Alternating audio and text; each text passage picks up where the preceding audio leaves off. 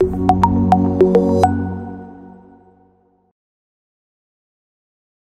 Senatore Antonio Iannone, stamattina a Salerno, alla sede provinciale di Fratelli d'Italia, per fare un resoconto, un bilancio di quella che è stata la sua uh, attività nel primo anno al Senato. Tante sono le iniziative che ho animato, oltre mille atti parlamentari in 365 giorni, tutti ispirati dal nostro credo politico e dalle esigenze più vere del nostro territorio. Impegno per quanto riguarda il settore della sanità, per quanto riguarda il ciclo rifiuti, per quanto riguarda la cultura della legalità, facendo parte anche della commissione bicamerale antimafia e soprattutto tante iniziative finalizzate ad infrastrutturare i nostri territori che segnano il passo da questo punto di vista e hanno un grave limite nel suo sviluppo proprio per questo.